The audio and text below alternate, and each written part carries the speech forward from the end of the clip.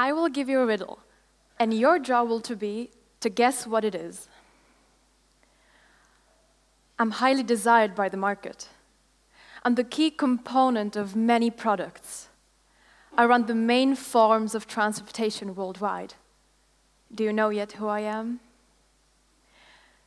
When you don't treat me properly, I can spread across water. I can flow with pure water, but we never mix together. I can float and revolve, but never dissolve. Do you know who I am? I am an oil spill. And I'm sure you heard of me. I was there when the two ships collided in the, in the Mediterranean Sea in 2010. I was four kilometers long, traveling towards the French and Italian coastlines. I was there when the Deepwater Horizon erupted in 2010.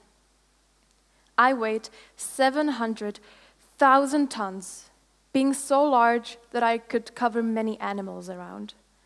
And it's been nine years since I was released, but I'm still present in the water, floating and revolving, but never dissolving.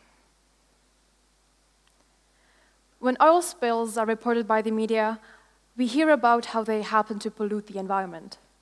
We most commonly hear about where the oil spill have occurred, or how much oil was released, or about the dangers to marine life. But what we hear the least about is how we actually clean them up. Just like with riddles, we don't know what we're facing when it comes to oil spills. We're not able to see the hidden part of it, the methods that are used to remove oil from the water. Since the Deepwater Horizon disaster, the cleanup methods used were only able to remove 25% of the oil. And you may wonder, why only so little? Because it is not easy to clean up oil spills. And let me explain this statement through a story. Last weekend, I was preparing dinner for my family, and I decided to use this delicious olive oil I just bought so I heated up the pan and tried to get a few drops of the oil on it. But I accidentally spilled the olive oil all around the cooking area.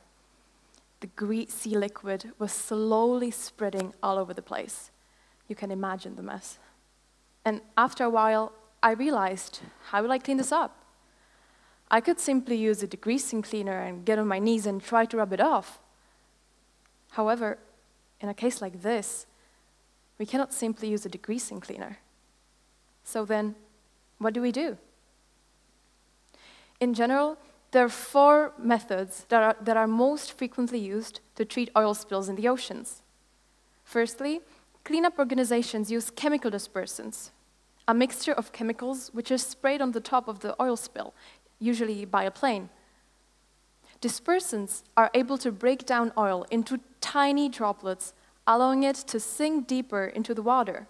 And this way, we're no longer able to see the oil spill on the water surface, but the oil is still there, floating and revolving, but never dissolving. This way, the marine life living below the water surface is exposed to highly toxic dispersant molecules. The study done by the University of Alabama says that Corexit, one of the most commonly used dispersants, can even damage the cells within the lungs of humans and gills of marine creatures. So, if dispersants were proven to be toxic to the marine life, why do we still use them? The controversy is that if dispersants would not be used, wind and water currents could transfer the oil towards the coastal area, which represents a habitat for other organisms. Therefore, the big question is whether we will protect the marine life below the water surface or the life in the coastal area. It can be concluded that the question whether to use dispersants or not cannot be easily answered. The second method for cleaning oil spills is by placing booms and skimmers on the, water, on the oil spill. Firstly, oil spill is bordered with booms which holds the oil spill together and then skimmers are placed in the contaminated area to collect the floating oil. And collecting spilled oil is beneficial both environmentally, as less oil needs to be drilled, and economically, as less oil needs to be purchased.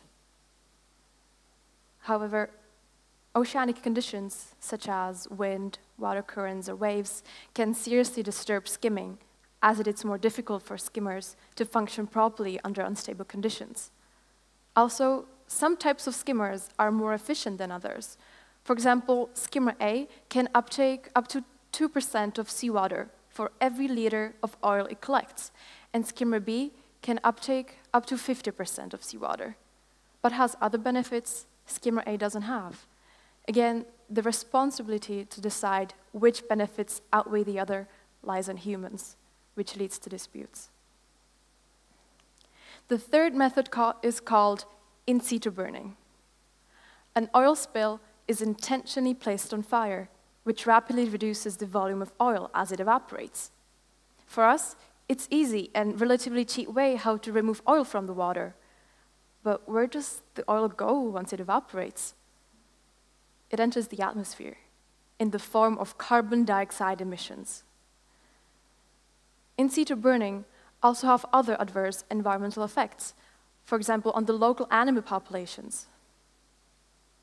Because of oil spills, animals get covered in oil, and you can imagine what will happen to them if a flammable compound is applied. Lastly, the fourth method represents a biological approach to treating oil spills in the oceans. Bioremediation is a method which is based on using microbes whose main attribute is consuming oil, as it is their main food source.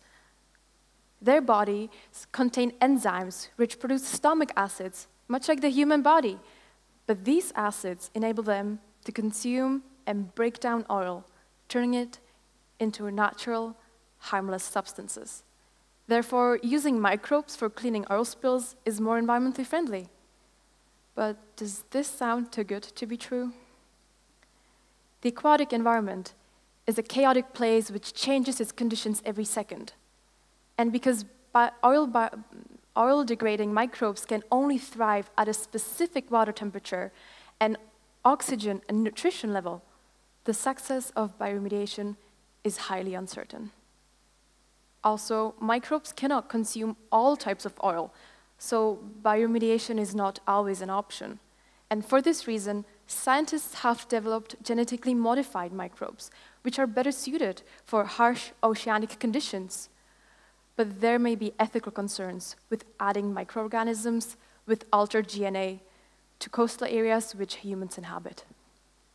Nevertheless, cleaning up oil spills is, more, is a more matter of ethics rather than science. When it comes to oil spills, not everything we call a solution is actually a solution. In some cases, solving one problem can actually lead to causing another one. And this is applicable to other areas of our lives as well. There will always be someone better off and someone worse off. Our technology have not yet advanced to the level at which oil spills can be treated without no side effects. There will always be a trade-off. And for this reason, we need to prioritize the development of clean energy technology. Clean energy is more sustainable as it does not release almost any pollutants and is produced from natural resources. This way, we would not have to burden ourselves with the decision who we will make better off and worse off when deciding upon an oil spill cleanup method. But let's make sure that by acquiring knowledge and wisdom about oil spills, it's the environment that is better off.